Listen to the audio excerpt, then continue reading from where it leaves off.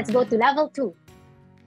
Level two, you might want to add descriptions to your experience. So, for example, here in this screenshot, as founder and CEO of Thea, these are the things that I was able to do while I was there, right? So, LinkedIn also checks the descriptions of your experiences because that's what they're going to use to suggest your profile to recruiters, to hiring managers, and suggest some skills as well that you can add later on, and we'll discuss that. But if you're able to add experience descriptions, so for example, what did you accomplish in this role and what did you do in this role? That's gonna help the algorithm suggest you to more people, especially for recruiters and hiring managers. So I'm coming from the perspective of someone who has tried to hire on LinkedIn, um, and coming from from my experience, um, when there are no people applying for my job yet, I can actually invite people to apply. And that's going to show me profiles of people according to, to my um, qualifications that I've set. And again, adding experience descriptions allows your profile to be suggested more. So here are just some of the things that you might want to consider adding in the experience descriptions. Another thing that you can add are your skills. So for here, for now, what you can do is add some skills based on what you think, like, like for example, if you have some target roles in mind already, what you think recruiters or hiring managers for that role will be looking for. And as you can see, mine already has endorsements. So when someone visits my profile, a connection of mine visits my profile. So for example, your org mates visit your profile, it's gonna prompt them like if you wanna endorse this person for this specific skill. And it actually in, increases your credibility when more people endorse you for a specific skill.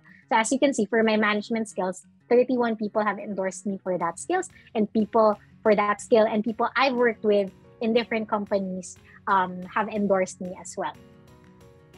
So when filling this up, just think what are the things that you can do? What are the skills needed in your target job or what are the tools that you might be using in your job or the tools that you can you can use.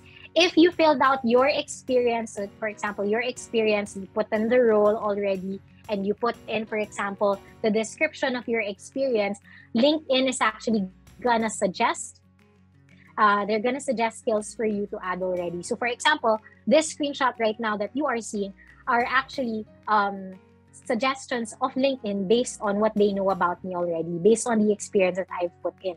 If you try it right now, it's gonna show a different set of skills. So this is not the template skills na binibigay ni LinkedIn for anyone. It's based on your profile already. So I suggest that you do this after you put in your experience and experience descriptions already. Next, licenses and certification. So this is a screenshot from from the founder of a co-founder of InvestEd's um, profile. Uh, some licenses and licenses and certifications that he has. So if you note, these are bigger ones. So for example, like from LinkedIn, from SoloLearn, from really reputable organizations. And because some of the tips that I have when adding licenses and certifications, don't add everything um, prioritize some licenses and certifications that come from well-known issuing organizations. So again, when you're adding a license or certification, there are organizations there. So issuing organization and then my drop down na naman nalalabas. And that's where you pick the organization that gave you um, that gave you that certification. So usually if you can find them already on that drop down, that probably means they're a well-known issuing organization already. But if you're having a hard time finding uh, that issuing organization on the drop down, that probably means you might want to double um, double check or like really think about whether this is worth adding to your profile.